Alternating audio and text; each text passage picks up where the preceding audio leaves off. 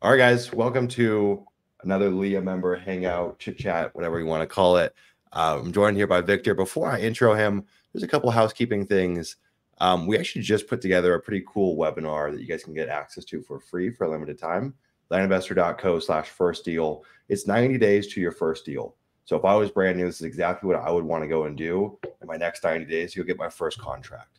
More than likely, that deal is not going to sell within that same 90 day window but go get a contract. It's happened. I mean, crazier things have happened. For example, we took two brand new land investors and we started them with $10,000. And in 90 days, we turned that into $240,000 of gross pipeline profit. So crazier things have happened. In fact, we documented that whole thing in our 90 Days Zero to Hero program, um, which we are publicly releasing again here in the next couple months or next couple weeks, really. Um, but this is a great place to start. Definitely recommend. Go check that out. Uh, same thing. We released a free Chrome extension, landinsights.co slash Chrome. Uh, it's a really cool way just to kind of run price per acre comps. It works on every platform. So land.com, Redfin, Zillow, you can go and quickly see, oh, it's 9,000 an acre, for example. And when you pop up to any of those websites, it auto selects your filter. So I go to Redfin, it's selected on land. It can be selected on sold or, or actively listed. One of the things that really adds up for you and your team is if you go to Redfin, for example, and it always auto selects all of the different real estate filters and it always is on active. So I'm like, go to sold, 12 month, click land it's small, but that compounds like a minute per search, and it really does add up, and it gets kind of annoying. So, anyways, all right, let's get into it. Without further ado, Victor, what's up, man? Who are you? Where are you calling in from? Give the folks some context. Yep. Uh, and first, I want to thank you for uh, having me on. Uh, it's been super helpful, like just learning from all the other LIA members and everyone you've interviewed in the past. But uh, touching on myself, uh, my name is Victor Pazmino. Uh, I'm here in the Chicagoland area, born and raised. Um, getting started into like my LIA journey, uh, how I kind of got into it was through you. Uh, we a little backstory is you know we've worked together in the past, uh, and that was during the time that I moved to San Diego. I was down there for like a year, just trying to get my my first big break in the digital marketing space. So uh, that's where you know we kind of worked together. You were on the sales side, I was doing the digital marketing, and then we would kind of chit chat in between. You know, because there is uh, you know some synchronicity, just kind of like balancing the two in a business in general. So uh, with that, I started there uh, in digital marketing, and I just kind of like had my head down and just focused on that for like you know those years leading into it, like the last four, five plus years. Uh, and then from that, I kind of like stumbled upon your content as I was like you know just getting in the more in depth with like my stuff and my business. And it started taking off. Like i started uh, with my digital marketing i started getting like more clients referrals word of mouth uh, things of the nature. And i kind of like uh, tiptoed my way into the land uh, just through your content. So um, i was like oh okay. I started seeing your posts and i was like man that's super interesting. Um, but I, I still never like dove into it. You know, I kind of saw like the content. I was like, you know what, I need to focus on like this one thing. Um, but really stood out to me still were like the margins that you were speaking versus like what I was doing in the digital marketing space. So I was still going about my business, working through uh, working with agencies and then managing my own clients, and that's kind of been the back and forth uh, that I've been going through um, even until now. So uh, fast forward to today. Uh, I am full time uh, with my digital marketing business. So I do have uh, about seven clients now. So I'm running that full time and then doing land as like a part time. But leading into it, uh, I probably have been diving into the land stuff for like the last year. I think that's how long it's been uh, since I've been in the LIA course. So it's been a little bit of a struggle because I was in and out of like W 2s and then balancing my clients and then fitting land in between. So I've been in and out of like two three jobs i guess if you really yeah. think about it you know so like my time has been like so uh finite like and and managing my time has been a little bit of a struggle just trying to work things in between and then also with like you know the the LIA and the land insights updates like uh getting more involved with that but long story short is uh right now currently i'm full-time doing digital marketing and then i'm doing uh you know land on the side. Uh, but I do have one deal that I, I've done already, and that was brewing since like November. November, I mailed a batch of about seven thousand, uh, or no, excuse me, uh, it was about forty five thousand. Um, I ended up locking up that deal end of December, ended up going live in January, and now we're about to cash out this month. So um, nice. from the time of listed, it was it listed about the end of January, and now it's um, it's about to sell this month, or I would say within the next week, week and a half. Uh, we're just wrapping up like the perc test, and that was a buy for 40, sell for uh, 95. So I actually listed that on my YouTube channel that that call of me just uh, working on the negotiation process with that seller. So if you guys want to check it out, I don't know if you, you linked it already, uh, Sumner, but um, super interesting experience going through the process. And now that I have it kind of dialed in, it's just working through it and getting more volume uh, with my mailers, uh, you know, on that. So yeah. yeah, that's just the rundown of what's been going on, you know, few months. Yeah, a lot, lot to unpack there. Um, yeah. I, I, don't I don't have the link on this little banner, but I'll make sure I put it in the description for everyone. And probably the easiest thing too, just search Victor Pazmino. I'm sure that'll come up, right? Yeah, if you search Victor Pazmino land, it, it should come up now. It'll I believe now that that video's actually been getting some traction now. So um, yeah, popped yeah. off. We we I don't know what it was at before, but I saw a ton of people watched it, and that's one thing that I mm-hmm. wanted to speak to before we get into the nitty gritty. Is like man, what a what a what an opportunity to be able to document your journey. You know, one of my few regrets is not documenting my origin story. I think I had a pretty interesting origin story, even way before when you and I worked together. And what's funny is I've had these little spits and bursts in my life, starting from the age of 12 of making YouTube videos. You can go back and look at Green Hour 45. That was my first YouTube channel. I mean, I've been making videos for a long, long, long time, but I never stuck with it. I would go for like two years at a time, stop. Same thing. I did that in my my uh, teenage years, early 20s and I really wish I just stuck with it. So my advice to you is stick with it. just keep documenting. And ultimately, I think it like what I've learned on YouTube will probably hit 10,000 subscribers in the next, uh, maybe this month, maybe, maybe next month. And to get there, holy crap, has it taken a lot of videos. But then it does start to pick up steam and it starts to kind of build momentum of its own. But to get that escape velocity is just unbelievable how much how much work it takes. Um, mm-hmm. But it's, it's effort that's worth doing. And ultimately, I think for folks on the sidelines, there's nothing more inspiring than seeing someone's hero journey and seeing them go from zero to hero. It's pretty dope and have that all documented. Really cool. You look at a, a guy like Iman Gadzhi. I think that's one of the reasons people like he's so revered is because he's documented his origin story. The other things I think a lot of people, well, actually, I'll, let me ask you, and I got so much to unpack here, but let me ask you, why haven't you released another video? Not to put you on the spot. Why haven't you released another video? I'm just curious what your thoughts are. Yeah, so I had this whole like strategy plan, and I still have everything already laid out, like everything from the script, the thumbnails, everything. Uh, it's just the editing. So that I'll probably definitely um, offload that to someone on Fiverr, which that's what I did initially with the first video. And uh, that's a whole another thing is trying to understand how to go about the content game, but also just just get it out, right? Like that's that was my whole point of like getting that first one out. Um, but with that, in the mix of that, um, a little bit of life stuff and then my marketing biz like started like taking off a little more. So like I have to onboard new clients, offboard some. And then with that, it's just there's a lot that goes into digital marketing for those of you that aren't aware of like running Facebook ads or Google.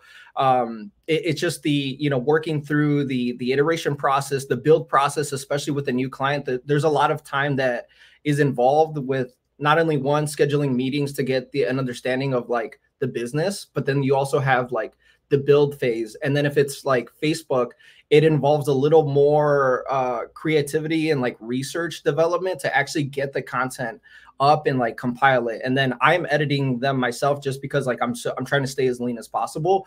But even that that can chew up, you know, anywhere from like four to maybe eight hours and like you know the first two or three is doing research and the rest is like actually editing the content and making those batches. So for me that's where a lot of my time has been is just really you know focusing on like my clientele making sure uh, i'm delivering as best as possible a service.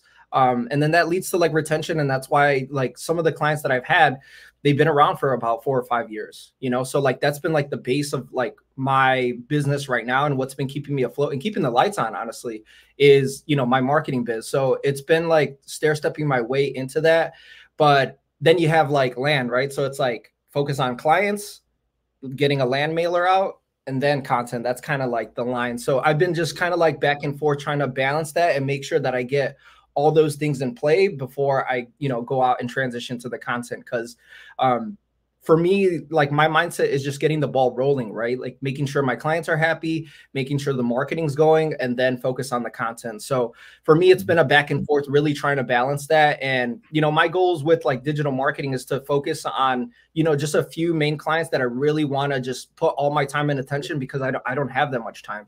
So I would rather work with, you know, a, a, set amount of clients that you know will not only keep the lights on, but I can actually deliver because there's a law of diminishing returns once I bring on too many clients too, right? Then mm-hmm. my capacity is that much more cut down, and then that takes away from land. You know, then it seeps into like you know my my life and it's like I try to like balance it but there's times where hey you just got to go through the grinder and this is the season that I'm in so adopting that mindset and just knowing like hey this is where I'm at and this what what needs to get done um is will help you know, I, I, would say is helping me at least in the now is just like adding more time, even working like weekends, right? It's like us as entrepreneurs, we we really don't unplug. There's no clock in, clock out. So for me, I'm mm-hmm. always on, but it's also like just finding time and really that that compounds over time. You know, adding in, you know, that those that extra hour or two, you know, here and there definitely goes a long way. So for me, like working on weekends is essential because it helps me get ahead for the next week, and then I can actually get a mailer out. Like for instance, for me right now, I kind of caught up to speed with all of, my client stuff, and some of them went on vacation.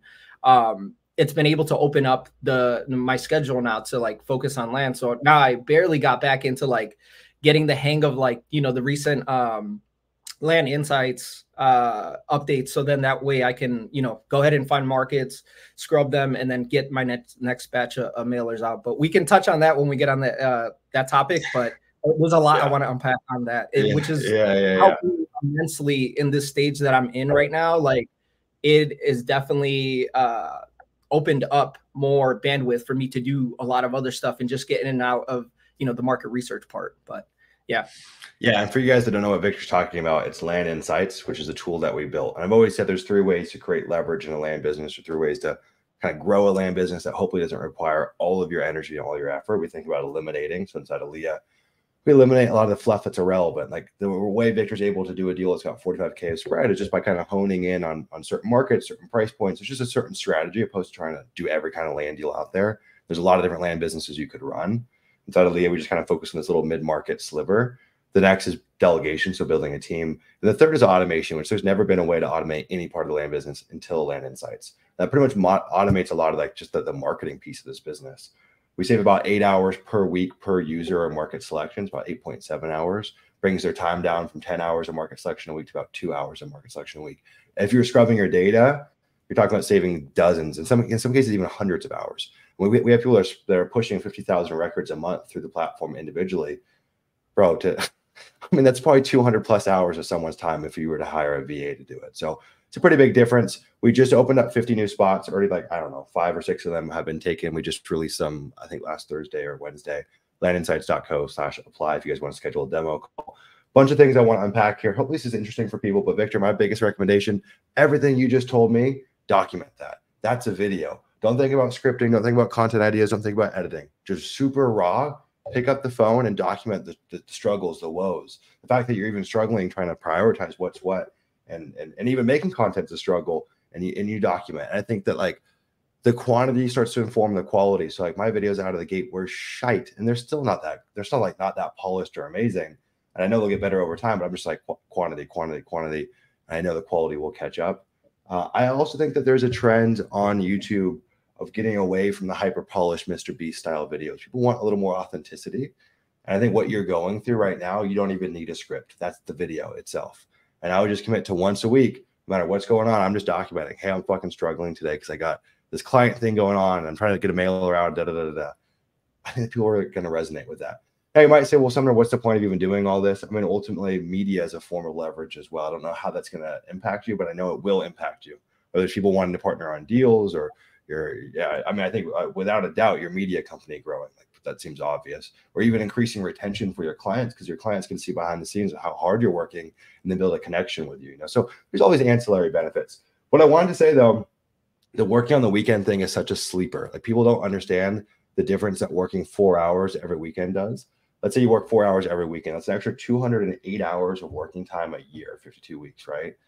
That's like, I mean, a, a work month is 160 hours or 40 hours a week. So you just bought back more than a month of working time by four hours spread out between Saturday and Sunday. That ain't that hard.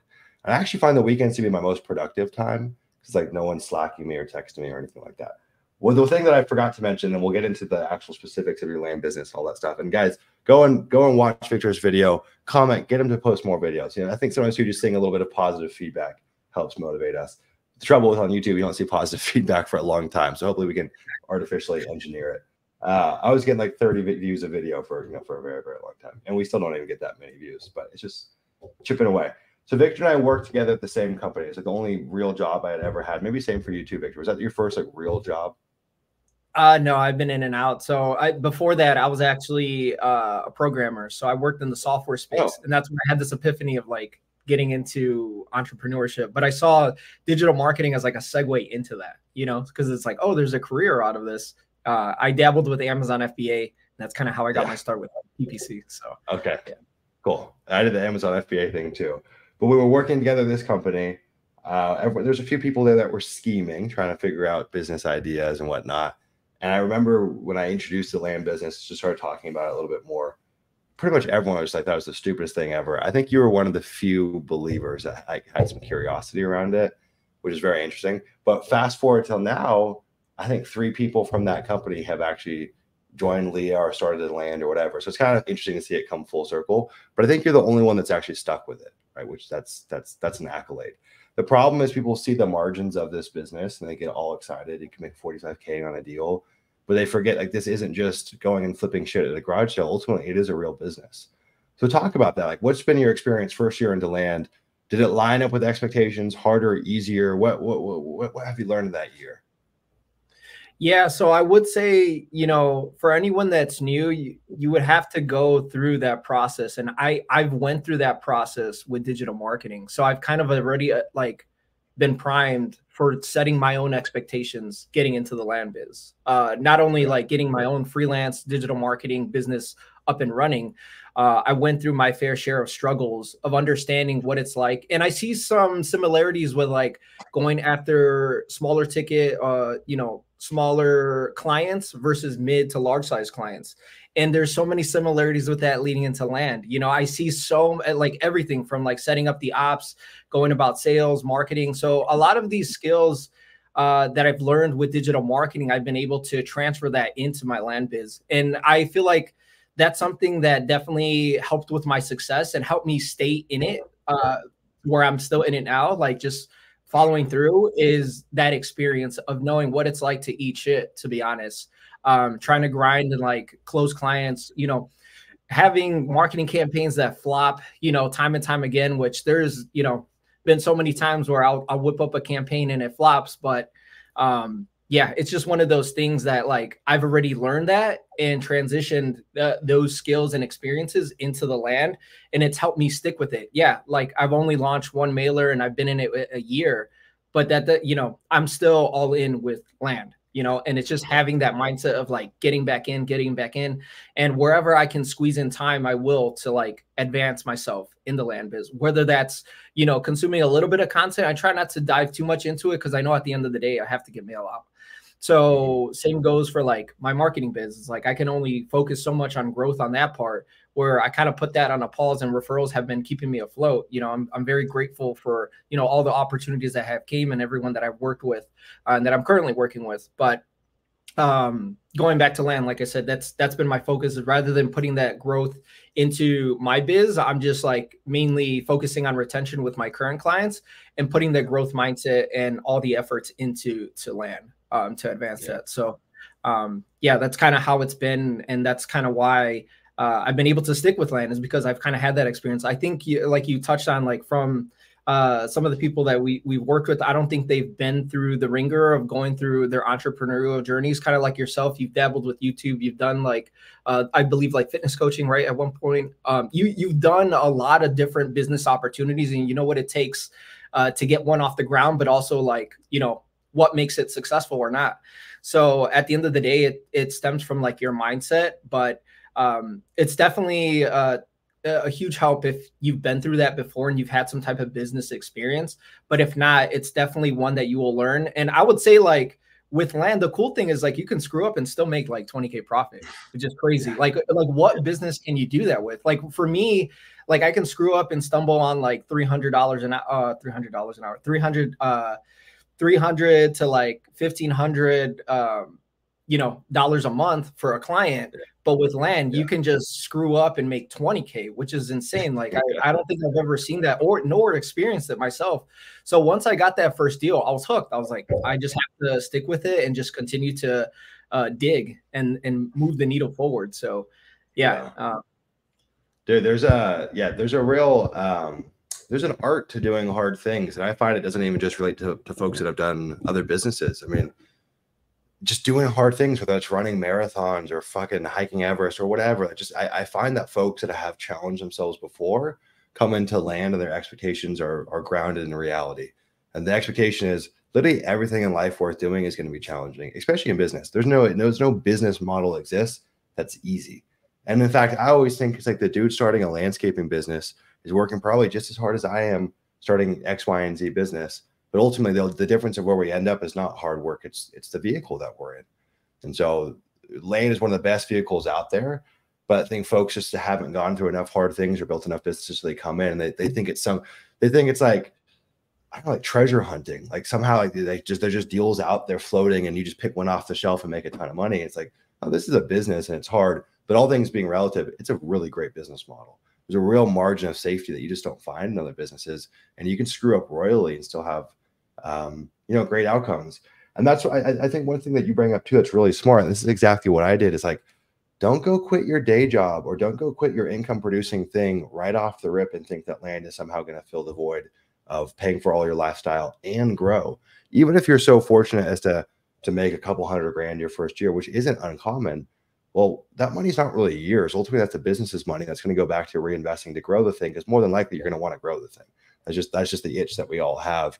And so even if you print 400K your first year, it's like, dude, you might live off 75 grand if you're smart and then parlay the rest of it back into the business. So I think the smartest thing that you can do is like, do not deprive the business of oxygen, which is cash flow for the first two years, ideally. That is brilliant. So if you've got a side hustle or a business or another job, like keep it. And it's a hard ball to juggle, but guys like Victor and myself and plenty of others have done it. Uh, and when it's time to go all in, you'll know.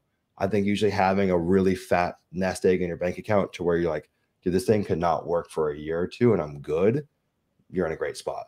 And one of the things that people don't realize too is like, you might make 400 grand your first year, but if you're smart, you're also not living crazy.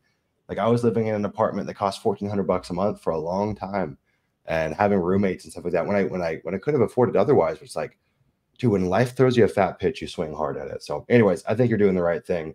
I think there will be a tipping point where land becomes glaringly obvious, the opportunity vehicle, because there's no customers to service. It's very much direct response, but yours is a little more word of mouth, or there's benefits to pros and cons to both. One thing I want to say too is you've you've run ad campaigns in other industries through Facebook and Google. You also know that not every campaign hits. Right? That's such a funny belief that people come in and it's just like you know, you, every campaign works. It's like, no, we're playing a game of averages and some work and they work really well and some don't, but we still make money off of it.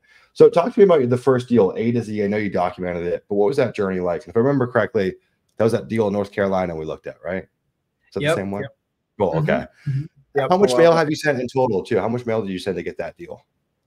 Uh, so that one I believe was uh, somewhere near 4,500. So I was basing it off of uh, kind of like your LIA framework of like every 2,500 you should land a deal.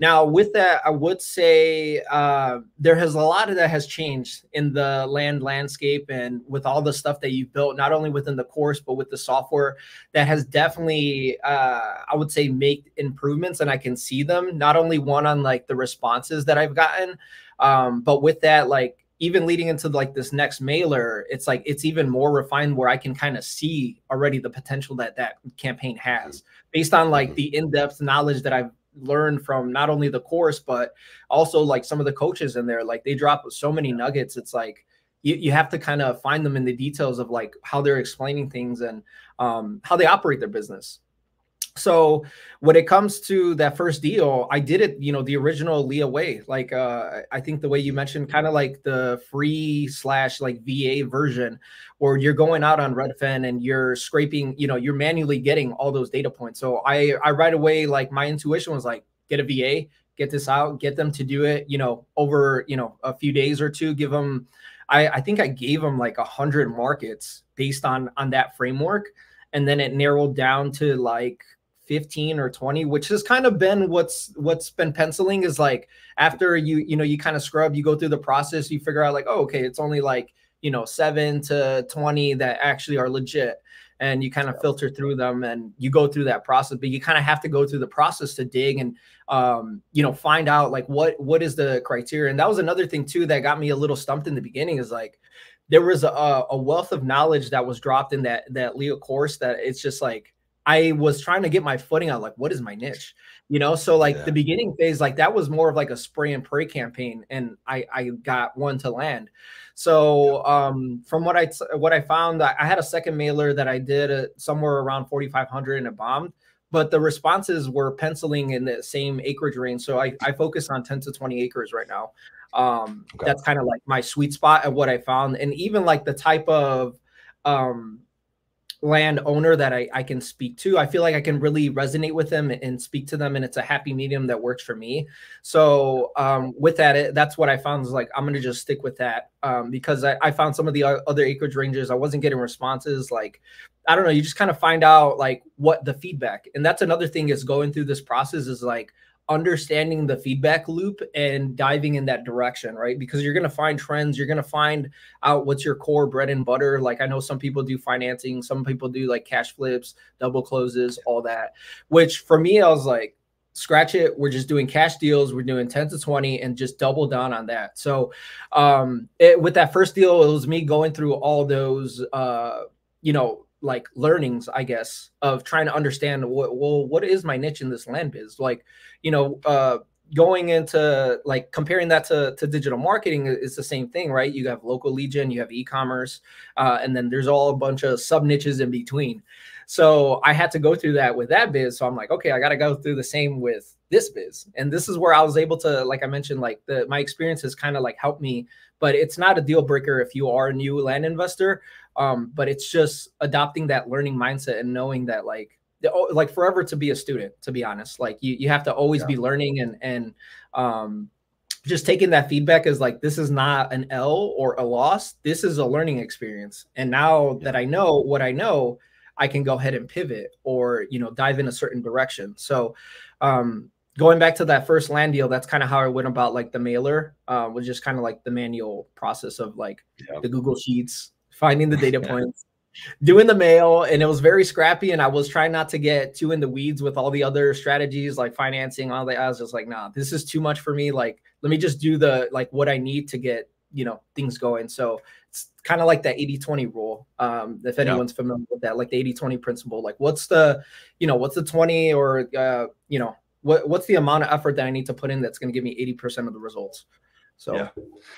Yeah, we it's funny. We I always recommend to everyone to do just an 80-20 analysis at the end of the year. Like go through all your deals and you do start to find weird commonalities. Now, I don't I typically don't go as narrow as just working in the you know preset acreage bracket, but I'll start to find commonalities for general size ranges, and it might be it's usually wider, maybe it's 10 to 100 acres. And as you start doing more deals, you'll recognize that uh, uh ultimately it's not a size thing typically, it might be price point related it could be the accuracy of your pricing. Maybe you're better at pricing the 10 to 20s than you are the ones to twos, but it doesn't mean that ones to twos aren't, aren't leads that you can't deal with. It's just, you know, there might be something in your process that's going awry there. Um, could be just market related, could just be just a small sample size, or at the core of it, sometimes it's actually the persona that owns those properties and you, you gel well with the, pers- the persona. And the persona might be someone that just inherited the property. So the difference between a 20 acre and a 200 acre, it's really you're speaking to the same person. You know what I mean? So I recommend everyone do that. I think eventually, as you go deeper in that, you'll probably branch out from 10 to 20. It's fine to be honed in from now, but you'll start to find other commonalities that are actually driving your results. Like the lady that sold you the land, how did she come to own it? Was it inherited? Was there any was there any story there that might stick out? Yeah, yeah. So uh she was an, an older lady and she uh had the land um she was using it for like her cow business so she owned like multiple mm. acres she lived in like one of the neighboring parcels um so yeah. she was mainly using that land for uh farmland um so okay. she was at a point where she just needed some cash now like she was it was like towards the end of the year and you know christmas time she was like um, you know i just kind of need to like pay some bills and get some cash for uh, like a vacation. So we were mm-hmm. able to, you know, just kind of meet in the middle with like a price that worked um, for both parties. And, you know, we just kind of took it from there and ran it. But that was a process in itself is just trying to go about what fits like you know for the business in terms of uh, not only price point but you know the type of parcel and then also what works for the seller you know? Like we can mm-hmm. continue to re- renegotiate and it, it could flop. Or we could renegotiate and they accept the deal and they're like i'll take it you know? Like i i don't have the time or uh, the capacity to go about you know listing the property myself and that's a, a huge uh, value prop that comes with us going to the market and and you know buying these uh, parcels is that we're able to provide the cash to them with little to no like headaches you know? We just go about the process um, and then from there they, they're able to get the cash fairly quick versus you know them having to do it themselves connect with the real estate agent and you know go through or listing yeah. it you know their own selves and going through that process so yeah. Yeah, yeah it's interesting i'm taking this this 80 20 stuff to a whole other level. We're going through all the deals that we've ever done, and we're running kind of like a psychographic analysis on all of those sellers. So everything. What's the religious status? How much do they make? Do they rent? Do they own? Like all these data points and trying to piece together commonalities. We're working on something that's kind of cool that will in- intertwine into land insights. But um, it's funny too, because I mean, I've gone through some of it and it's like, man, a lot of my preconceived notions as to why someone was a good fit was actually totally different than how I imagined. Like we always think about out of state, or we always think about, um, uh, that you know they've owned it for a long time, but there's all these actually things that sit underneath it that drive motivation that we just can't see on the front end through like a DataTree or, or a LandVision or what have you. Um, being on both sides, right, doing the manual mumbo jumbo for market selection and pricing, using land insights. Talk to me about the difference there how has that kind of influenced your business and, what, what, does that look like? And I, ultimately for me you can be as uh, unbiased as you want. Ultimately i just want to collect feedback more than anything. Yeah yeah. So i would say you know with it being a, a, a new software there are bugs you know and i think that comes with anything when you're starting something new is there's the kinks that need to get worked out. And uh, i believe you transitioned a lot of the stuff the feedback that we got from version one into this and there will continue to be iterations where it'll be you know the next level. And i i am a firm believer that land insights uh, will be a you know is a game changer for this. I believe a lot of the members have provided a lot of good feedback on how much time and, and money it saved. Um, even for myself i calculated the numbers. I believe um, it's a it's penciling about anywhere from like 20 to 30 percent or you know the inverse of that. It's it's saving me about 70 to 80 percent of marketing costs if you really mm-hmm. do the you know the numbers um not only the marketing cost but also time which that first mailer took me about uh anywhere from like two to two to three weeks to actually hash out go through it filter um dive into you know the those uh markets on redfin going about pricing um so there's a lot that i've learned in that process where, where it saved me so much time to get a, a mailer out like if I would have done the old method, which not saying the old method doesn't work because it obviously got me a deal, but uh, like with the software, it's able to expedite that, and I've been able to do it within days uh, versus like two and a half, three weeks, which is nuts. I'm like, wow, and I won't need to reach out to a VA, which like for me in that process of that first round of mailers um it, it, did take some time right? Like i had to connect with the va it will take them time because it's a lot of markets that we were trying to filter through. Um, so I would have to like record a video, give them the criteria, go through it. Then I would have to go in and like filter all the, you know, all the metrics myself, highlight them, and then go through pricing. And then even that, like once you go into pricing, you're like, okay, this market doesn't fit because it doesn't meet my buy box. So yeah. uh, circling back to like uh, what I was mentioning, like, I, yeah, I focus on 10 to 20, but I also expand based on that. Like if I do see a market that is still hot, but the buy box still meets my criteria, oh, I will reach to like, you know, the zero to fives or like, uh, you know, we'll do the 20 to 40s, you know, if I see it fit. And it's like, it makes sense. If it's hot enough, then it's like, why not? You know, you really have nothing else to lose. If the math is there, hey, the confidence is in the that comes with that is in the market research. Yep. And I would say like Land Insights definitely does that. Um, yeah, unbiased. I would say the only thing that I, I've really had issues with it is the um, is like the little bug issues. I believe I had some issues with like the payments and whatnot. So I was just working through it, but it comes with it. Like people that are new to understanding that uh, is like it, it, comes with it, you know, with it being yeah. fairly new. Not saying yeah. that it's 100% new, but it's like these are iterations that you will continue to find, and, and I'm sure there's more features that will pop up, which is very exciting. Like, yeah. Well, it's, it's I mean it is new. It's even it's still it's less than a year old, which which is crazy because it does feel like it's been around for for a lot longer. But it, it, in reality, it's actually three months old. And what I mean by that is Nuts, the first man. whatever eight months or so, because we haven't hit a year yet. It was built on top of Tableau, which is just a database, right? So it wasn't even really a software. It was just uh, amassing this data, putting it into a database, and then you could kind of toy around, manipulate it. But ultimately, the tool has been it's like been in its own form since March 27th. That's when we moved over to our own user interface. And what's interesting is that like we know the problems to solve, and we've got a litany of things that people don't know about. We're working on behind the scenes. A lot of the stuff that we're actually using in our land business today that we haven't released publicly yet. So there's a slew of things that go way beyond market selection and scrubbing, but we also don't know jack crap about building software. So it's like we know the problem and we know how to solve it roughly in a perfect world, but there definitely has been a lot of tripping and fumbling to try to um, you know build a tool that that runs smoothly. And it, it I mean running building software and running a software business is unlike anything I've ever done before. So it's been a really fun challenge in a lot of ways. What's crazy though is despite the whoopsies and especially the first eight months I mean we've come a long way from Tableau to where we are now. There's still hiccups with some scrubbing and some stripe stuff and there's just some annoying little idiosyncrasies login issues small small bugs but they, they are annoying and we release new patches every Monday and every Wednesday so we're pumping out every week new patches. And those patches either come off of the feedback requests from users or just things that we're seeing.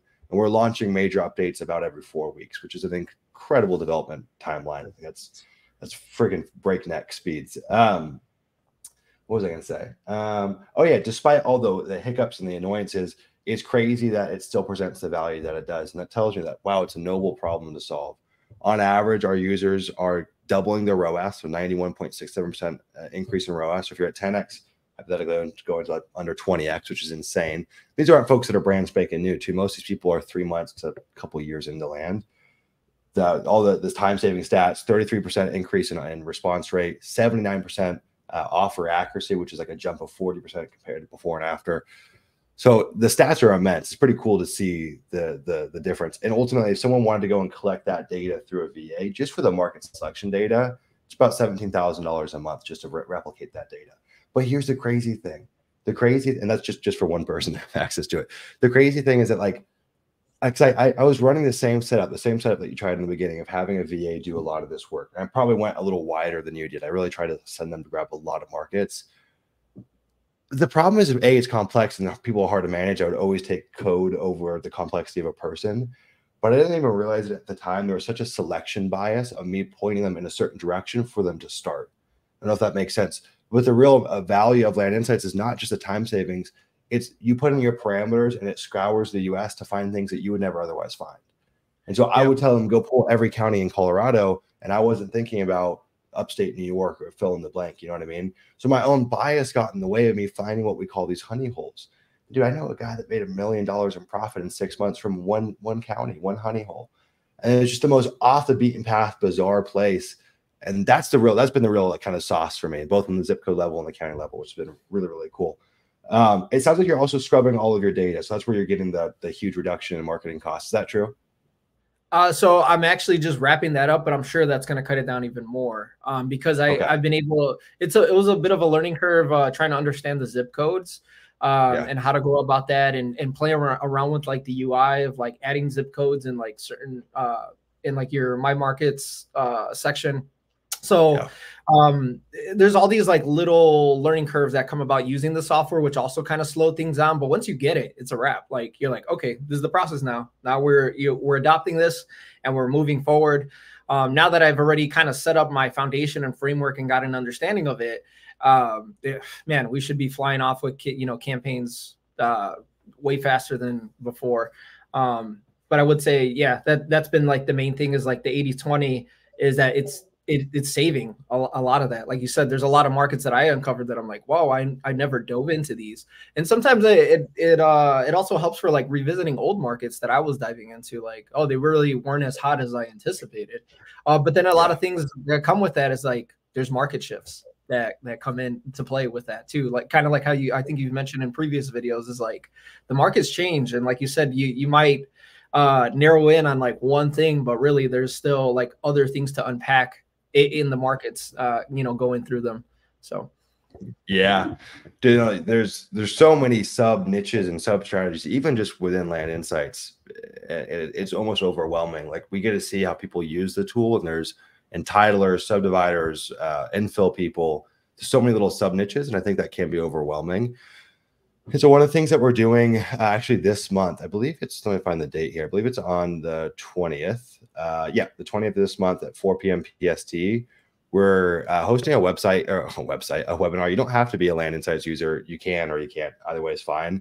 But we're actually going to go and unearth all the sub techniques and sub strategies that we found from our users on the tool. So, like, here's how we would use it to find subdivisions. Here's how we would use it to do infill flips. Here's how we would do it to do subdivides and going through and showing all those little intricate strategies, which is going to be freaking dope. And even if you're not a Land Insights user, you're still going to learn a thing or two that you could just replicate on your own. Like I just did a webinar for Land Insights last week, and I really try to keep it where it's like, I'm going to show you how the tool can do it, but I'm also going to show you how you could do this on your own, right? So ultimately, the takeaway from this webinar is how to 2x your marketing return while buying back 20 plus hours per week. Landinsights.co slash webinar. I'll put that somewhere in the in the doobly doo for you guys. But um, that honestly would probably be a good webinar for you to go to as well. I think it's too much. It's just like LIA. It's like too difficult to learn all that information through a course. And so one of the things that we just launched, not to go off the rails here, but we just launched, which you'll get access to actually today, Victor, is uh, a Discord that's built just for Land Insights users uh, with support in there. So really tight feedback loop for questions or people sharing strategies or feedback or support requests. Uh, obviously, we do our once a month uh, Land Insights call, which is actually happening today. Um, we just added onboarding calls for all new members, and then we're rebuilding out our program. And so, just trying to create better support. One of the things that we're doing too is when folks sign up now, they're gonna there's gonna kind of like an automated onboarding helper that's gonna make you go through the tool and and learn each bucket of the tool, and it's gonna actually hold your hand and walk you through it because it is it can be overwhelming. And just like with LIA, it's like if you don't implement the thing, you don't get the results. One thing to like watch the modules and stuff, but implementations where you put rubber to the road, and that's where the magic happens. Um, let's zoom out from land insight stuff. Let's talk about just from from your own comparing and contrasting. So we got the two folks that joined Lee are a either W twoers, which you were at one point, but I consider you more of a, a, business owner than anything. And then we get business owners, and most of those folks are like either never done land or they're like 24 months or less into land, kind of dipping their toe in the pond, but they usually have something else going on and they're looking to do this full time. So being on both sides of the pond, having a, a marketing business and land compare and contrast. What are the differences? What model do you see yourself sticking with long term? What do you like about each? What do you not like? I think there's a lot of people that are in your shoes, even if they're not running a marketing agency, they're running some other opportunity. I don't think anything compares to land, but I'm curious to get your your, your thoughts. Yeah, um, I do foresee, you know, the future for me is is definitely land. Um, not only the margins, but like for me, I never really had the opportunity to run like a like a full fledged business. I've been kind of like in and out of freelancing, uh, like just myself, you know, just basically yeah. me uh selling you know and and not uh, not only doing the selling but like doing the implementation doing the calls doing it you know so i never had the uh, true opportunity to run like an ops biz um yeah. but with that i think uh for me you know the marketing stuff is it's awesome i i loved it i still do um i think it's just in terms of scale and i i think i have like a bigger vision uh, in terms of like where I see myself. Land definitely fills that in terms of you know what we can do and uh, the capacity that it can handle. Um, because I I did learn you know in and out of agencies and working in house. Um, you know there's there's only so much that I feel like I would be comfortable scaling with the, the digital marketing stuff. Where um, I never really got to dive into like a single niche. I've kind of worked with like local gen, ecom coaches, stuff like that. And um, I think I kind of like not lost motivation for it, but um, I, I don't see myself growing that biz completely. Just seeing like not like what it takes, but I don't know. It's just after I got to experience uh, the process of going through land uh, I I do like the the margins a ton, and I do see myself running like a full fledged business a lot faster, right? Because like once you have that form of capital, you can actually bring in uh, better um, better talent. Like you can start bringing on employees within end of year one, which is crazy. Like with marketing, I've been sticking with it and really just trying to get my groove. But I I can see already the direction with like kind of the wins that I've had with land i can actually run an, an operation which that's been like my main goal is is trying to get there. I've been doing it all this time with digital marketing and it's I, you know i fell short but i, I definitely can see you know it, it done I'm not saying that it can't be done in digital marketing but I, I think i just kind of fell in love with land to be honest. Um land it, it just it's weird. I never thought I'd fall in love with dirt. Uh, I think like for you, you mentioned it, uh, you know, a while back when we first, you know, got started, both you and I, like me, when we met, I was barely getting started in my digital marketing like career as a whole. Uh, and then you stuck with land and that was like ages ago, you know? So I, I kind of beat myself sometimes. Like I beat myself up like, dang, it, had I like just dove in it with, uh, you know, Sumner at that time, I probably would have been light years ahead but also I, I've learned a lot in between doing the digital marketing stuff where I feel like if I didn't have that, I wouldn't have adopted that mindset and going through those, you know, hiccups with digital marketing. Yeah. Um, I feel like if I didn't have those learnings, then I'd be at a different place in my land biz. But who knows? Sure. I mean, it's a lot of coulda, woulda, shouldas, but hey, yeah. just kind of learn and adapt and and just continue to move on. So yeah, that's for yeah. me. That's my main goal is running in operations. Like that's that's been huge, uh, and I got to do that at the previous agency I worked for um, a little bit. But uh, with that, it would be nice to like run a full fledged team, and like I kind of have the vision of how I would run it too. It's just having the capital. Once the capital is there, and we have actual uh, inflow of like consistent cash flow, then I can start bringing people on, which I already have, you know, a few people in mind to to bring into the biz. Yeah. So I actually have like some friends and family that are interested in it, but like you said, if they don't have that like itch, that entrepreneurial itch, which for some of you, if you're in your W two and you haven't uh, kind of had a taste of that, it's kind of hard to describe. But like once yeah. you get your first one, it's like you're hooked. You you don't go back, to be honest. Yeah, and that's that's kind of why like I've still I failed uh, a lot throughout these years. Like I mentioned, like going back to W two, then doing this again, and going back. This is my second go around going full time on my own. So I definitely have approached it a little differently, and um, now it's just like okay, now we transition out. We're going to transition into land. So it's like you said, you can't really cut off your previous thing completely uh, till you have like the foundational set with the new venture. So for me, yeah, it's been like W two digital marketing freelance, and then it's like we we transition into land. So for me, I've yeah. you know just kind of like bounce back and forth from all those. But the long term vision is to like go all in with land and see if I can adopt or implement some of these digital marketing strategies that I, I kind of have running like the local legion stuff uh, mm-hmm. to that, which I can see feasible. Um, but it, it's a matter of testing, right? There's so many ways that we can go about testing that it is going to require a, a, good chunk of capital to kind of like test these different iterations. And now that you have, uh, you know, access to um, the skip tracing, which I, am sure there was other softwares out there, but with skip tracing, it's like it, it definitely changes the game because now you can actually hit a list as like a retargeting campaign. You know, like you you probably do like your standard mail, text, email, and then that could be your your your you know your fourth uh, channel is like yeah, once you have like a proof of concept, I would foresee that as being another leg that you can add on. But like for me, yeah. first things first is just sticking to mail. Uh, I definitely don't see myself testing that out yet till I get all the other foundations and we just have flow. So that's kind of like where I'm at, like mentally with you know running marketing channels for my business. Yeah. Yeah, I think uh, for everyone that's watching this in the beginning of your land journey, it's like one strategy, one marketing channel, just one maniacal focus, and then you get that thing working and starting a new marketing channel is almost like starting a new business. So it's like i'm very even though there's a lot of ways that you can make money especially with your skill set i think it's wise just to hone in on one. One thing i want to say too just for everyone here this is just a personal belief but it's like i believe that we all have free will and we make choices and they have an effect but i also believe that it's all in due time like everyone's got their timing and for anyone here that's kicking themselves because they're whatever 45 years old and they want to get started earlier it's like fuck that. It's all in due time. Whatever that timeline looks like for you, you're, I believe everyone's exactly where they need to be at the right moment. I just saw this girl in LIA who's 15 years old or who started land investing at 15. Now she's 18. So yeah, there's folks that started way earlier than you. People started way earlier than me. That's okay. It's all in due time. So you don't beat yourself up and anyone watching this, don't beat yourself up. We got folks inside of LIA. We had, we had someone that was 80 years old join LIA. We got folks that are 21 years old. So you can do it at any any stage in your life.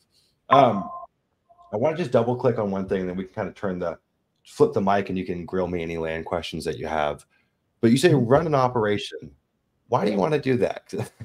I've been on the other side of that, and I, am just curious what what what attracts you to it because it comes with uh, comes with a lot.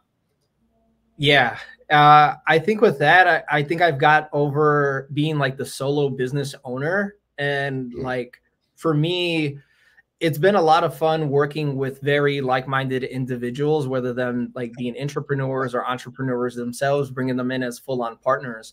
Um, but I had a lot of fun. I have an experience with, you know, a buddy of mine. Like we we've worked together on a lot of cool stuff.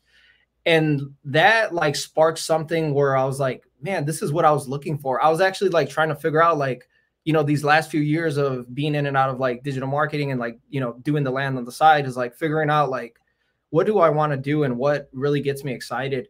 And it's working with people that you actually genuinely like want like to be in your corner but not only that but you guys also have the same mission like i like for me i think that's really what i've been trying to do and that's kind of like why i moved to san diego is like i was looking to find like my crew or like uh, like find like-minded individuals which you know where i'm at here in chicago i mean a lot of people are just we're just kind of brought up that way to be like a fireman a policeman which there's no no knock on that i mean that's that's cool and all because we do definitely need like people like that in the world, doctors, you know, etc. But for me, I was really I, I had a void of finding like like-minded individuals, whether that being other entrepreneurs, and that's why I appreciate the Discord group because we're all like everyone is so awesome in there and like sharing resources and like giving a helping hand wherever you know needed.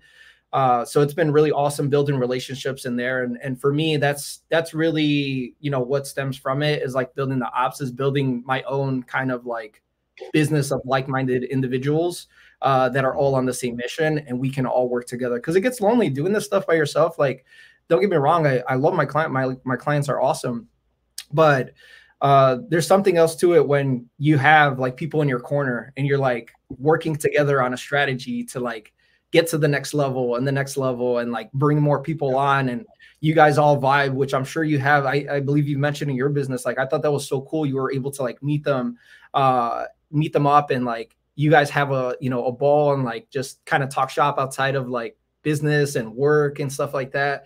Um for me that's where i see i'm like damn like this is what i i've needed. And i got a taste of that through working in and out of agencies is like that's that's what i want. So for me it's not so much of like the pain of like doing the stuff of like the ops and you know that comes with it is like setting up sops and you know frameworks and whatnot.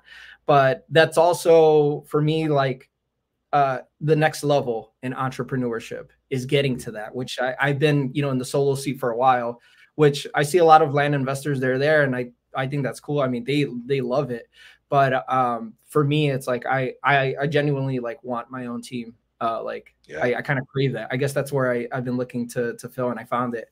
So that's kind of that aligns with like my long term vision. Yeah, no, I totally understand that, and uh by ops i knew you didn't mean sops and operations. I just think that like I, I, there's a, a lust in most entrepreneurial circles and i think it's changing to have a big team. It's kind of like the, the thing that everyone flexes like i got 50 employees you know whatever. Like everyone likes to, to kind of drop that. Uh, and it's a huge feat and it's a huge accomplishment and there it, there's a real beauty to having a tribe that you go to battle with every day and you're in the trenches and there's a shared mission and there's a bond and there's a camaraderie and that is amazing and honestly and when you're in the solopreneur seat that that is the most lust-worthy thing ever and there's a real benefit to it especially i think if you can have that to where you're in person one of my biggest business regrets is not hiring locally like if i could go back and do it other, over again i actually would not go remote team ever again. I would go local without a shadow of a doubt. And I would float the cost of a small office space. Well, three, four grand a month. I think we get that uh, in a productivity boost. That is a huge ROI for the investment of an office. I do think there's going to be a time where people realize that remote work is kind of bullshit. The whole separate thing. But what I was going to say is what I've gone through personally is that like building a big team and building it with with a couple different businesses, you do start to build a jail for yourself. I, I talk about I was talking about this on our LIA call last night. It's this golden prison that you build where having a big team adds a lot of complexity and there's a lot of management and there's that all falls back on you. And mm-hmm. there's intertribal feuds and there's just there's just so much that happens that you think, oh, I'm gonna build this team and then I'm piecing out and, and then I'm not really a part of it. And there's a scale where that makes sense. You bring in an interim CEO or COO and you kind of sit more like a board member. But for most folks that are sub 50 employees, that scale just doesn't exist, depending on the business model. And so it's like this really awkward, like from 10 to whatever, 30 people. Man, it's just it's complex. And so my my whole thing nowadays that I've the drum that I'm beating is revenue per employee. I want highly productive, highly connected teams, but small teams.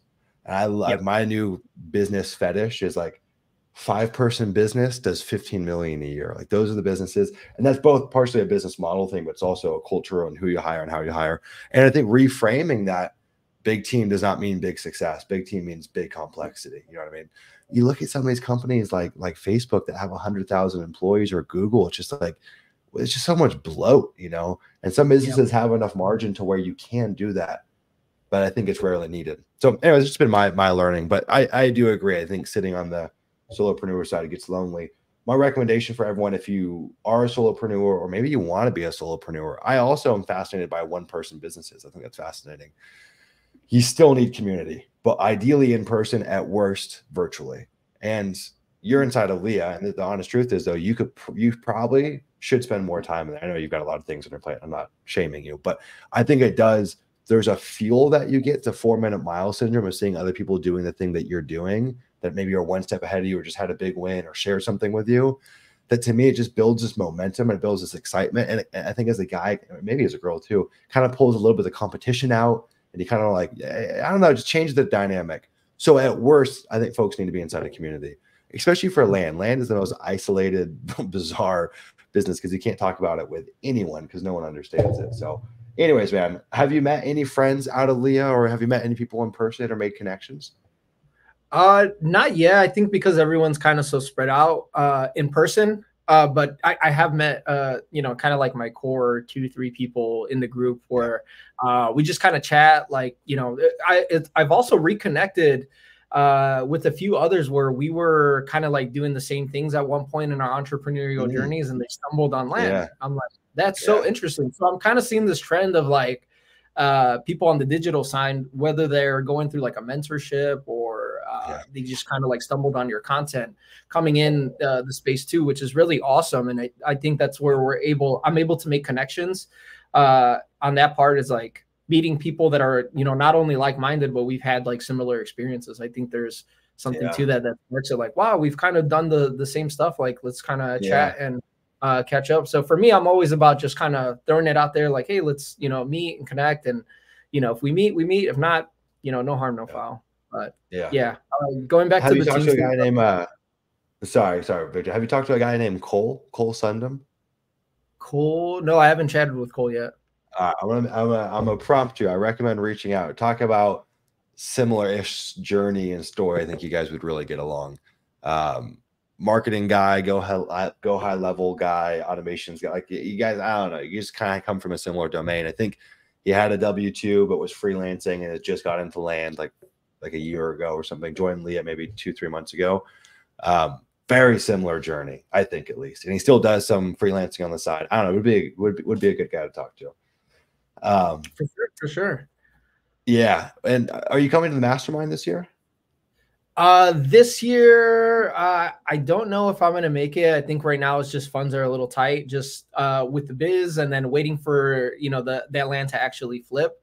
So yeah. once all the expenses are kind of crunched out, I'll see if I I can definitely make it. The goal is to like I really am itching to. I know last year it was uh I got married, so that that was the time of the event was during my my wedding. So that's another thing is like uh go, t- going back to business. Like I've had a lot of life events that kind of came up. It's like you know it, it, you know, it's it's I wouldn't say it's like a like a holdback, but it's one of those things where life kind of happens and it's like we got to kind of take a pause right now, you know, during the yeah. season, enjoy it, and then we get back into it, you know.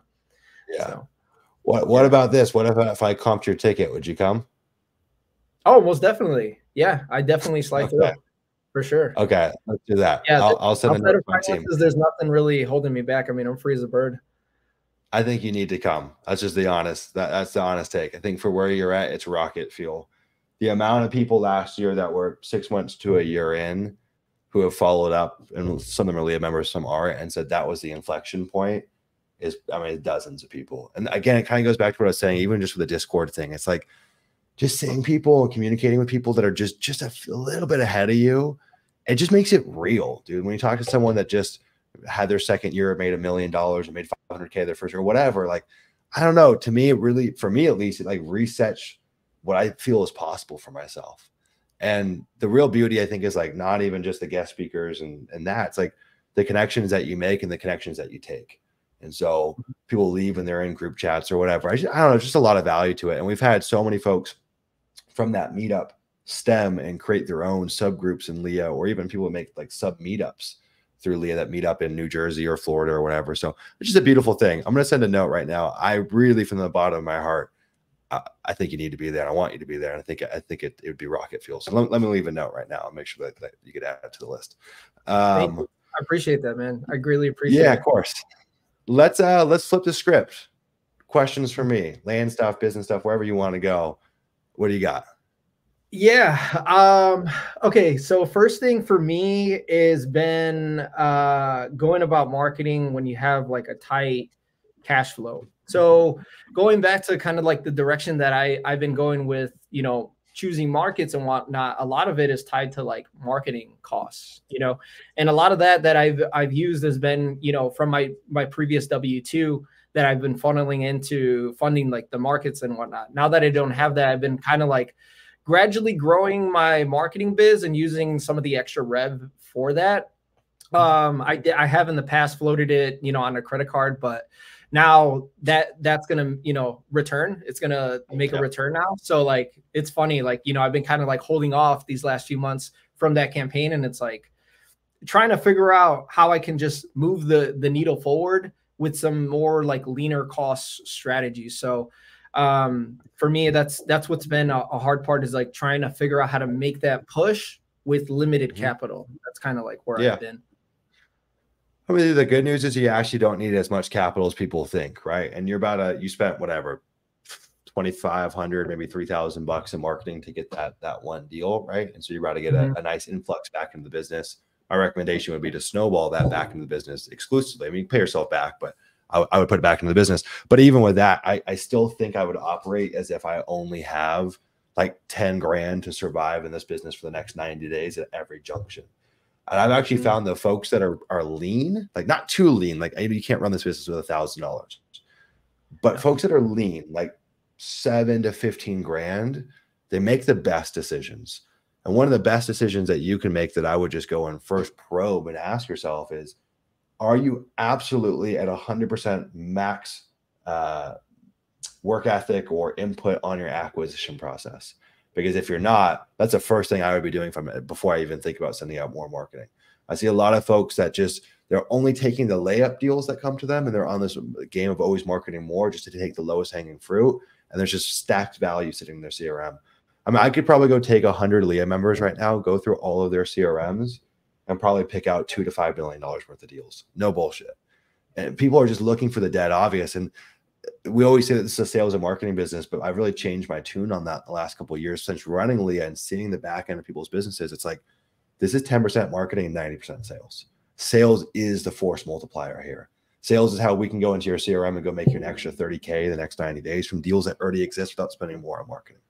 So before we talk about any of the marketing stuff, are you absolutely maxing out what you can do on acquisitions, both in terms of you know, following our 14 day seller seller follow up cadence, following our call flow, following how we make offers, having you know context based follow up sequences once you talk to the lead. Like, are you doing all of that?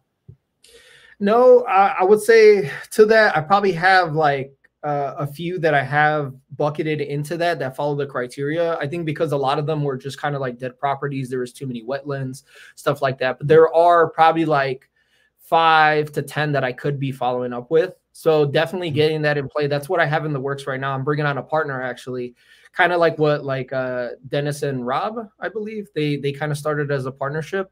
So I'm I, I'm going to be taking that approach where yeah I'll be splitting profits, but I'll be bringing on more of an A player. So going back to like what we were talking about teams is my goal is to like bring in just straight A players where I won't have to manage them because I've had to do deal in the past with like VAs and those that aren't really uh, not qualified, but there's a lot of hand holding that you would need to do. I'd rather pay someone a little more, give them more free reign and, and a decent like give them an incentive uh where you know we're all but we're also all on the same page, right? We're like, okay, this aligns with me, this aligns with us.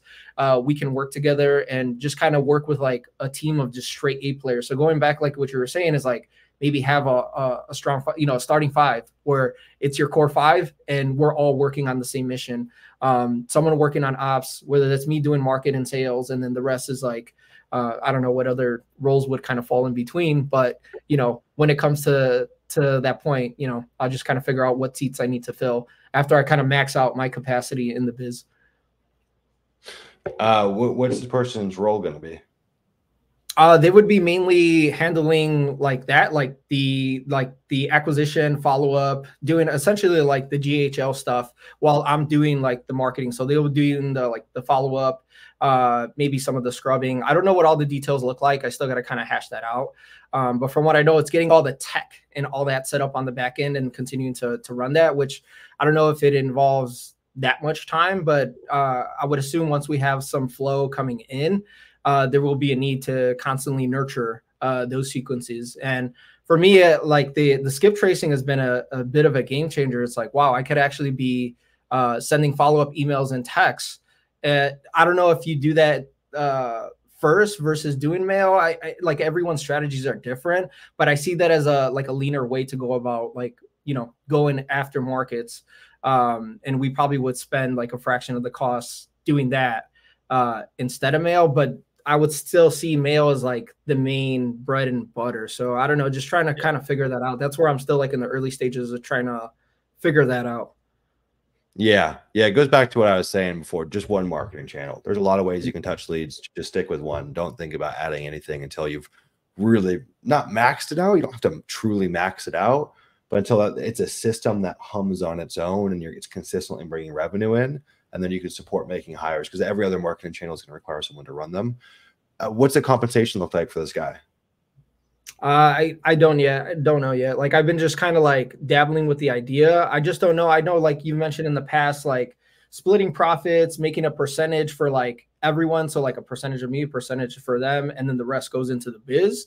Um, but I just don't know. Like I mentioned, I'm still new to like getting something like that set up but yeah. also like being fair i think that's where i've struggled with is like transitioning out and this is what i was mentioning is like those learnings of transitioning out of like a solopreneur and getting more into like building a team like what is what is those like payouts incentives the, that that yeah. structure look like so that's where i don't know and that's where you know i would probably gain a ton of value going to the you know the LIA meetup uh, to yeah, kind of like sure. on how everyone operates their business because I, I really don't know like that's a huge unknown but this is what i'm like was tying back to is like this is like the next level of entrepreneurship now. It's like setting that out. It's not just paying me and a few softwares and you know maybe getting cashed out for a deal. It's like now we're bringing in people. Like how do how do we do yeah. that? Yeah, I mean, did a lot, a lot to give or a lot to share. A, I would not make anyone partner or give them equity, even. It's just not needed. This is a business that just doesn't need a partner. So that's the first thing. There's still ways to bring them in and get them compensated well, but I would not have any kind of where hey, we're 50-50 partners uh, automation plays such a small role in this business that it's like that's a one-time set and forget thing. It really this is very much an on the phone, voice to voice. I was gonna say belly to belly, but it's not belly to belly. But like the magic does not happen through automated texts and emails. It helps, especially as you build up a big pipeline and you're working dead leads. It's great in the very beginning when a lead comes in, and it's great when they go dead.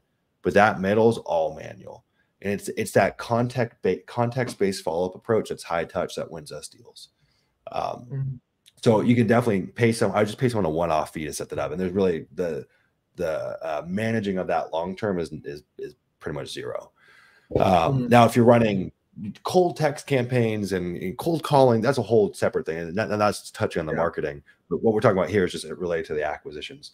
Um, you know, if you brought someone, I, I actually let me zoom out. I think it's too soon to even be thinking about truly hiring people. So obviously, you don't want any hit to your payroll. The other thing yeah. is that you haven't gone full cycle on enough deals, and I don't think you're maxing out what exists now to be able to fully manage someone. So if you brought someone in as an acquisition person, because you're not, and you don't have to be at the highest level, but you're not, you know, there's still a lot of room for you to get more experience there.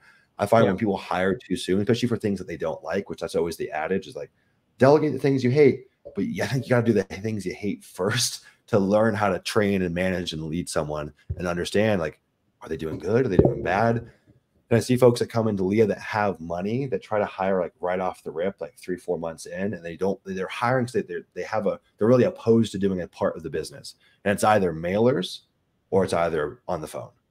And it never's worked. It's I literally, it crashes and burns. So, um, and it's not to say you can't bring someone in. Now, what I have seen that does work is bringing people in either I've seen LIA members partner up on certain deals. So it's on a deal by deal basis.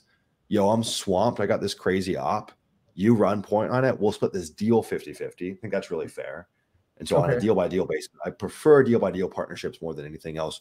Or you bring people in and you just say, hey, you can you can have at my CRM and any lead you take down, I'll give you whatever 10, 20% of the of the gross profit. I'll fund it, I'll fund marketing, I'll run all that you just can help out in their CRM. And so they're almost like a intern that has a stake in, in doing deals. And it's not deal by deal, it's any deal that they they can go and revive or do. And we have a lot of folks that pull, even they're not from LIA, but from the LIA Discord or our YouTube channel that like know land, but don't want to run their own business. That's that's been a great setup. Something that we've done as well. You call it like an intern kind of. Um, okay. But again, even to even to have that be successful, you've got to have enough reps in your belt to actually know because very few people, unless they're a LIA member, are going to come trained out of the box. Uh, and even in that dynamic, you're probably still the leader, even if you're partnering on a deal by deal basis, because you're the one bringing the lead, sourcing the opportunity.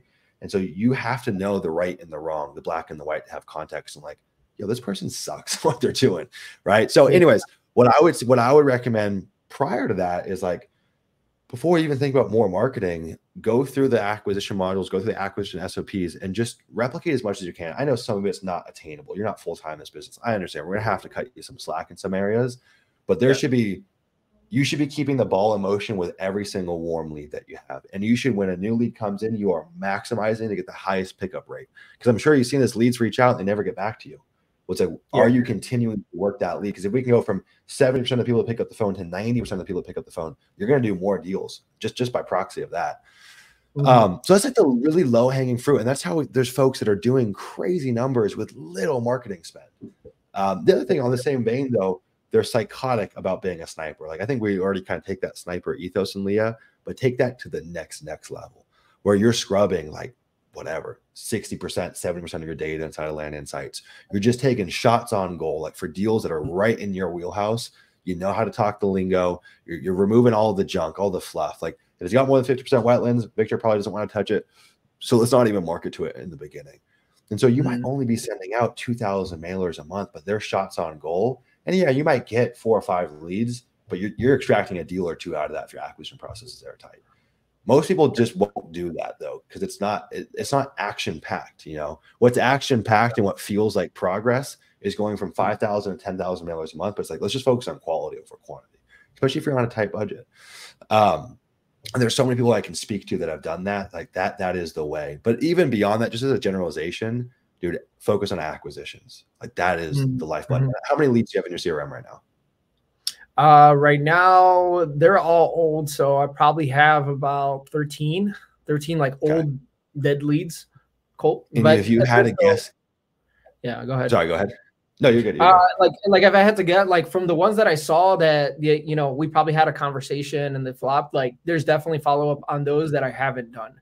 Um, yep. So, like I mentioned, there's still a lot that I have to do on that part, and maybe too, it's revisiting all those markets and cherry picking the ones like maybe scrubbing uh, that list to find like, okay, these are good properties that I actually would go after. I've gotten a deal here. Let's try to find like neighboring markets and just there's still a lot of untapped value probably in what I have sitting in uh, like you know my initial exported list from DataTree you know so yeah. that, that going back to your point um yeah that definitely is brought to my attention now like i'm, I'm probably sitting on a lot of dollars that like yeah. is already there uh like you mentioned yeah Dude, most people are, and most people they fail to realize that the, the, the magic happens by working the lead. Like some leads come to you and it's a layup, and you can build a business off of it, but it's not the proper way to build a business off of it.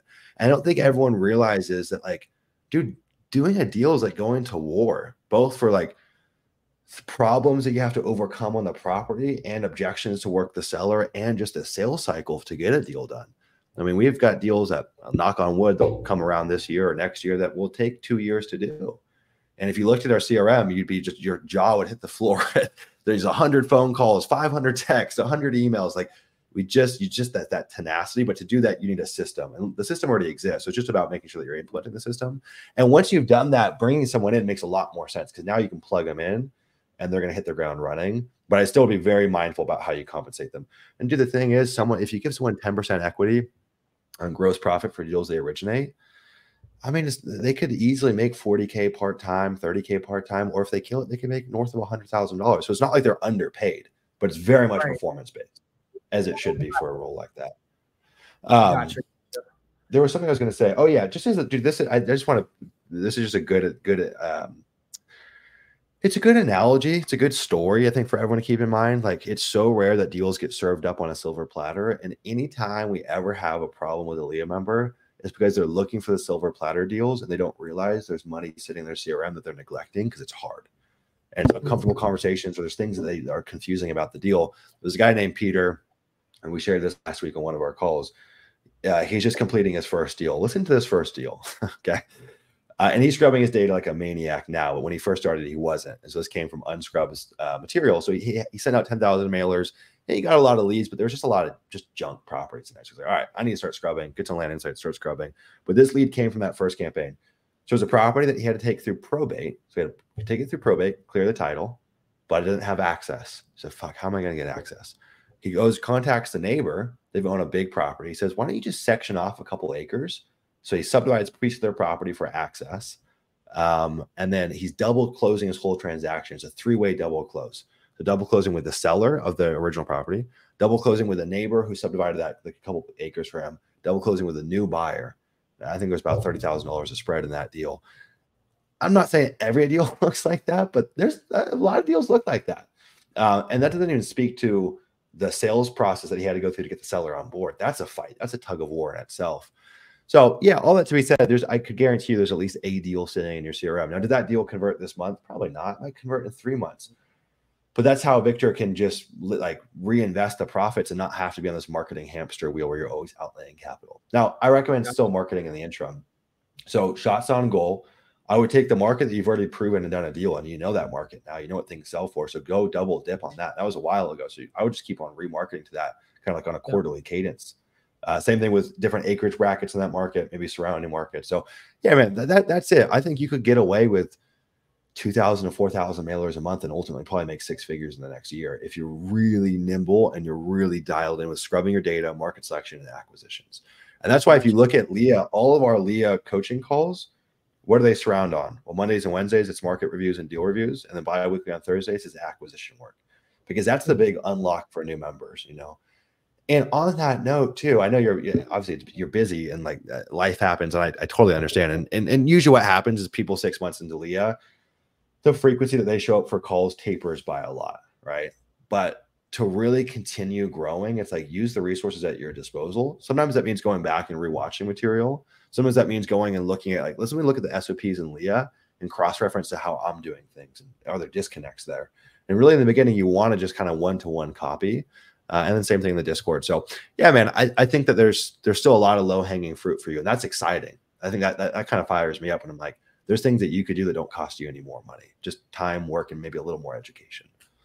Gotcha. Okay, so the the second thing is, and so here's the thing: is like now that I got one deal, I've kind of generated buzz in my circle of people wanting to get involved. so this is also stemming from it too. Is like people see the value and they're like, I want to be a part of it. I be, you know, um, I have someone that's looking to invest in a mailer and you know basically like I'll fund your mailers and then we work out the profits. But I'm like I don't know yet. Like I haven't done a deal. Like you know, yeah, it is a little tough because it's like they're investing the the money in the marketing, and then I'm still doing all the work. To like, I don't know what do splits look like on something of, of that nature, or would it, you know, would it even be feasible at this point in my business to do that? I mean, I think it's it's cool if I can get other people to fund certain things, which is like, of course, I'm in a tight spot, so it would definitely help move the needle forward, but let's say if you were, you know, someone approached you with that, like, you know, funding mailers, how would that look like, or would you even do that at this stage in, in the yeah. Yeah, um, I uh, just to zoom out one se- one second. What you'll find in this business is everyone you talk about it and everyone's interested. They want to learn from you. They want to partner up with you. They want to work with you. I would say no to almost 99% of it. It's it's just more noise than anything in the beginning. Now, funding is the one thing that that interests me, but it has to be on funding deals, in my opinion. All of the risk in this business is on the marketing. You never get that money back if it flops. Deals, you can pretty much always get your money out of the deal, right? So it's it's, it's just a little bit of a mm-hmm. different dynamic. So I would probably try to allocate that money more towards funding deals there are set setups where people will fund mailers, but they also have to fund the deals. So it has to be both, in my opinion. Gotcha. And usually you'll split profits 50 50. So they're guaranteed for any deal you do from that mailer. They fund the mailer, they fund the deal, 50 50 splits. And there's funders out there that are doing that currently, but you can set that up with your with your own folks. And with your own people, you can adjust the term. So as one of the mm-hmm. benefits mm-hmm. of sourcing your own money, you could do 60 40 or 70 30, whatever you want. Um, but what I would say is like, dude, using people's money to fund deals, especially if they don't understand land especially if you're friends with them, there's a lot of reputational risk there, especially if you're not optimal in every bucket yet. So I would really advise probably stay away from that. Use the big box funders' money because they know that this is a business where deals might go sideways and they, they kind of accept that risk. Where Joe Joe Blow, who doesn't know, and if the deal flops, like he, he's not a professional funder, so like that's going to sting a lot. Or a mailer flops, right? Um, yeah. So I'd be wary of that. And I, again, I just think that this, this, business is like a magnet where everyone wants in, and it's exciting. And I made that mistake. And we never, I never had people fund mailers, but you know, there's a lot of people want to learn from you, pick your brain, hang out, talk about it. it most of it's a distraction in the beginning. Um, yeah. Now I, you can lot of seeds there. Yeah. yeah. You can plant seeds there though. Those might be people that you continue to network and talk about, but you kind of keep them at arm's length and say, give me some time, and then I would honestly just funnel that money towards funding deals. Uh, would be mm-hmm. be my, my my recommendation. Yeah.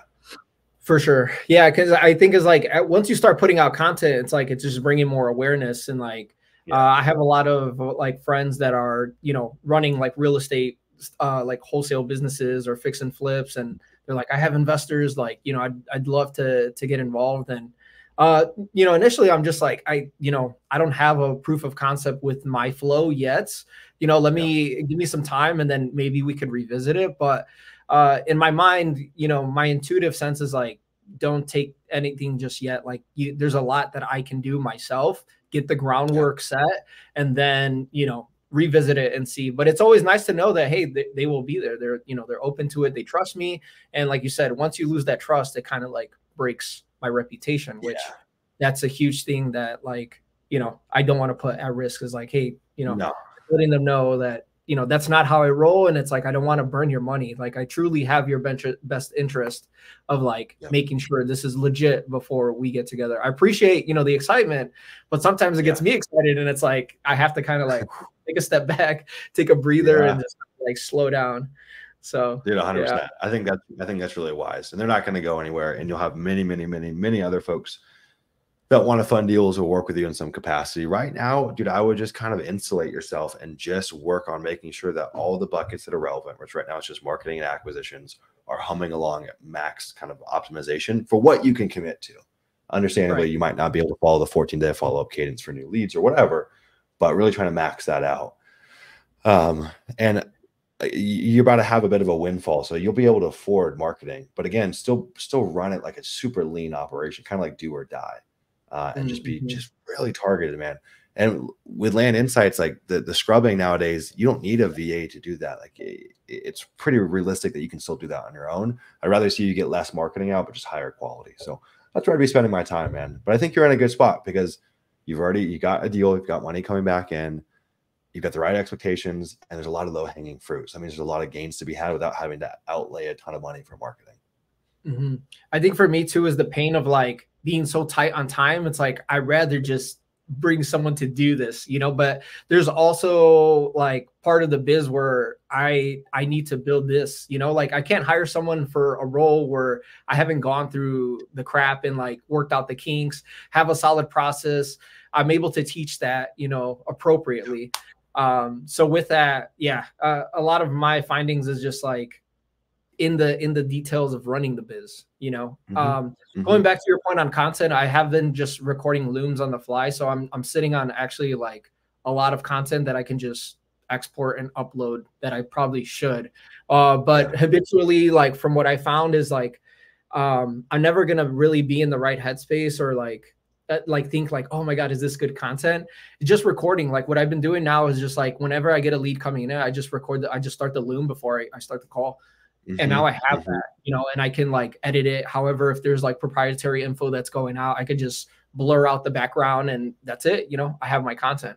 Uh, Yeah. so with that, yeah, it's definitely just just getting it out there. That's kind of been my main thing, and keeping you know low edits.